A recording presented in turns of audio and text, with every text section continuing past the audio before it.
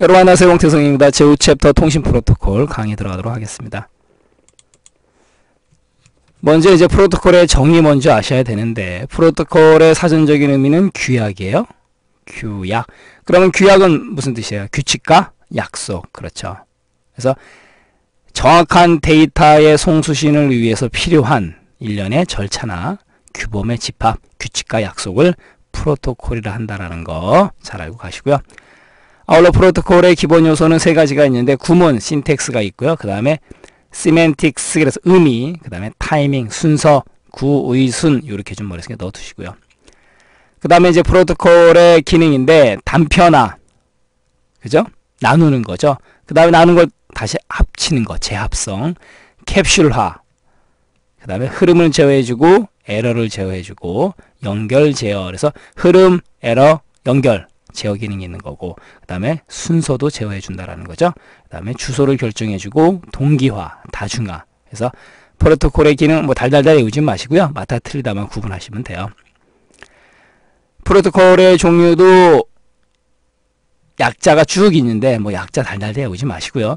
BSC 같은 경우는 이제 문자 방식이다. 그래서 반이중 방식을 지원한 거고 그 다음에 DDCM Digital Data Communication Message인데 DDCM하고 그 다음에 SDLC Synchronous Data Link Control 그 다음에 H는요 High Level Data Link Control 이렇게 있어요. 그래서 DDCM 같은 경우는 바이트 방식이다 라는 거고 그 다음에 SDLC하고 HDLC 같은 경우는 둘 다 비트 방식이에요. 아울러 단방향, 반이중, 전이중 다 지원이 된다라는 건데 맞다 틀리다 정도만 구분하시고요. 달달달 약자는 외우지 마시고요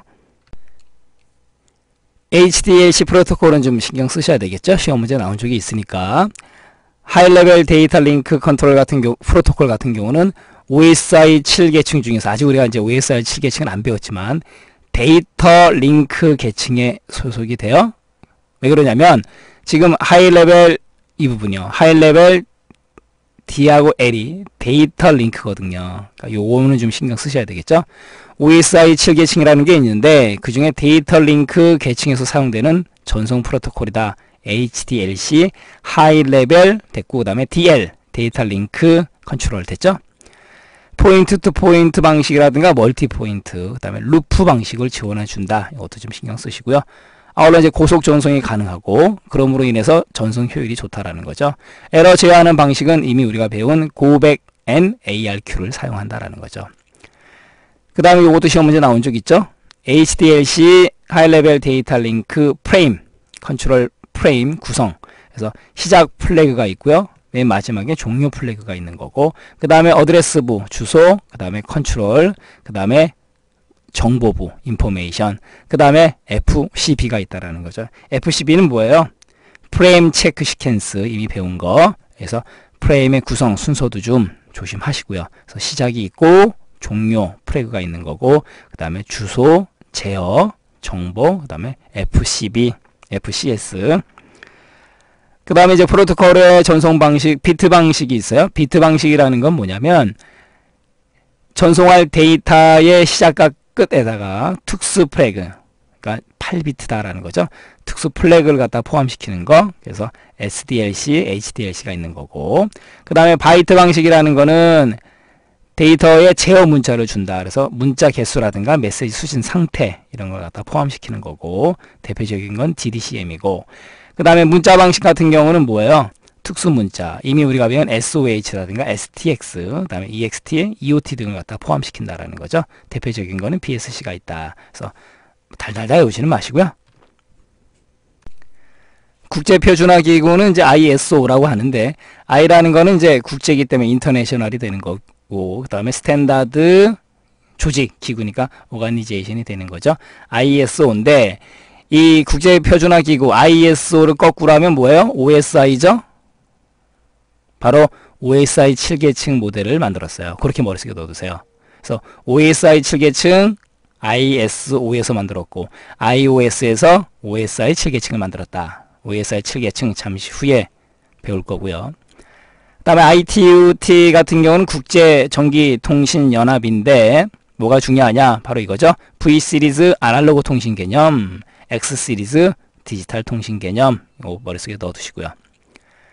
그 다음에 이제 OSI 참조 모델의 정의인데 개방형 시스템 간의 상호 접속 그래서 OSI가 오픈 시스템 그죠? 개방형 시스템 인터커넥션 연결이죠. 상호 접속. 그래서 OSI의 약자인데 뭐 약자가 중요한 건 아니고요. 그 다음에 iOS5에서 만들었다. 아까 말씀드렸어요. 거꾸로 된 거. 그래서 잠시 후에 배우게 될 거고 그래서 서로 다른 컴퓨터나 정보통신 시스템 간에 원활하게 정보를 교환하고 서로 연결하기 위한 표준화된 절차다. 결론적으로 목적은 뭐냐면 정보를 원활하게 그렇죠. 교환하기 위한 그 개념이에요. OSI 참조 모델의 목적 이건 좀 신경 쓰셔야 돼요.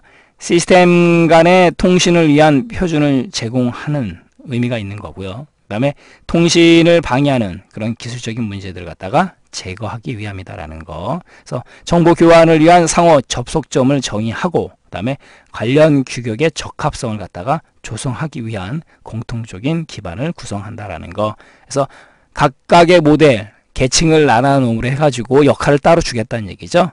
그래서 문제가 생겼을 때 바로 해결할 수 있게끔 하는 그런 목적도 있어요.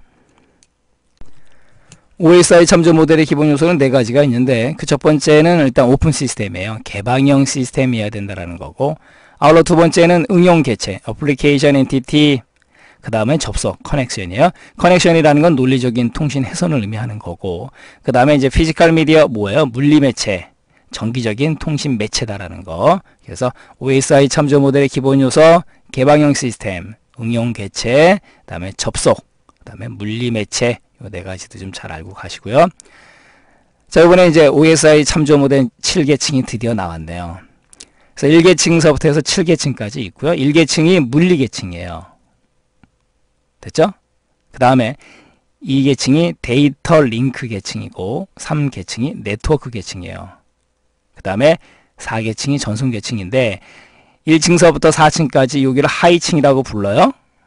우리 편의상 위에서부터 썼지만 아울러 이 전송 계층은 상위층으로 보는 견해도 있어요. 이거는 뭐 교재마다 조금 다르니까 학자마다 가겠습니다. 그래서 1계층 물리 물, 그 다음 2계층 데이터 링크의 대, 물대 됐죠? 3층은 네트워크 계층 물대내 이렇게 머릿속에 넣어두시고요. 그 다음에 4계층은 전송이에요. 물대내 전. 그 다음 5계층이 세션. 그래서 물대내 전세 이렇게 물대내 전세.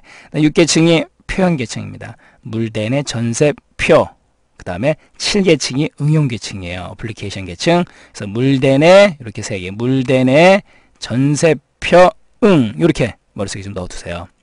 당연히 1계층은 물리계층이에요. 됐죠? 물데네 전세표응 이렇게 머릿속에 넣어두시고 그래서 1계층서부터 7계층까지 물리 데이터 링크 네트워크 전송 섹션 그 다음에 세션 표현 응용 이렇게 쓸 줄 아셔야 돼요. 순서 헷갈리지 마시고요. 가겠습니다. 물리계층은 기계적이고 전기적이고 물리적인 절차 그게 바로 물리계층이에요. physical적인 개념 그 다음에 데이터 링크 연결이죠. 그래서 인접 개방형 시스템 간의 정보 전송 및 그죠? 오류 제어다라는 거. 데이터 링크, 데이터가 링크되는 개념. 그 다음 네트워크, 네트워크 뭐예요? 정보 교환되는 거고 중계 기능, 그 다음에 경로를 갖다가 선정해 주는 거죠. 그 다음에 유통을 제어해 준다. 바로 네트워크 계층의 기능이고 전송 주는 거죠. 그래서 송수신 시스템 간의 논리적 안정, 그 다음에 균등한 서비스를 제공해 준다. 전송하기 위해서. 그 다음에 세션, 응용 프로세스 간의 연결 접속, 그 다음에 동기 제어 기능이고 표현 뭐예요? 부호 교환, 암호화, 해독, 압축 됐죠? 아울러 정보의 형식 설정이고 그 다음 응용 계층 매우 중요하죠? 어플리케이션 응용 프로세스 간의 정보 교환 그래서 전자사서함이라든가 파일 전송 이런 것들이 바로 응용 계층이에요. 그래서 각각의 층을 나눠놓은 이유 문제가 생겼을 때 예를 들어서 기계적이고 정기적이고 물리적인 부분이 문제가 생겼다. 그럼 물리 계층만 손을 보면 된다라는 거죠.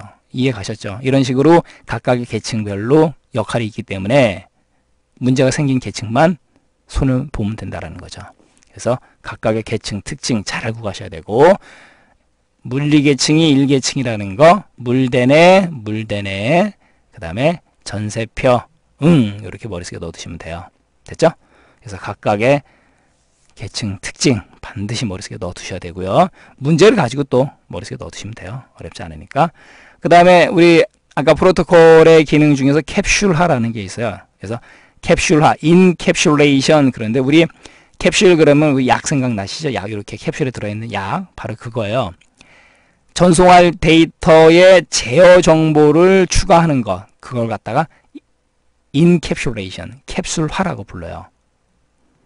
이 안, 약 안에다가 제어 정보를 추가했다 그런 개념으로 생각하시면 돼요. 그래서 앞뒤에 header 그 다음에 트레일러 그러니까 header는 머리고 트레일러는 꼬리 개념 아니겠습니까? 그래서 앞뒤에 header하고 트레일러를 데이터에 붙여서 전송하는 게 바로 정보의 캡슐화. 그래서 제어 정보를 추가하는 것이다. 이렇게 또 머릿속에 넣어두시면 되겠죠. 자, 이렇게 해서 우리 OSI 참조 모델 7계층 물대내 전세표 응. 여러분들 이거 달달달 한 30번 해보시면 애워치세요. 물대내 전세표 응. 그 다음에 시험장 가시면 또 물리계층하고 응용계층 어떤 게 또 1계층인지 헷갈리신다고요. 1계층이 물리계층이에요. 가장 아래에 단계에 있는 거. 그 다음에 제일 높은 7계층은 응칠이, 응용계층이 바로 7계층입니다. 됐죠? 자, 이렇게 해서 OSI 참조 모델까지 강의해 드렸고요. 우리 다음 챕터, 제6챕터 정보통신망 시간에 찾아뵙도록 하겠습니다. 감사합니다.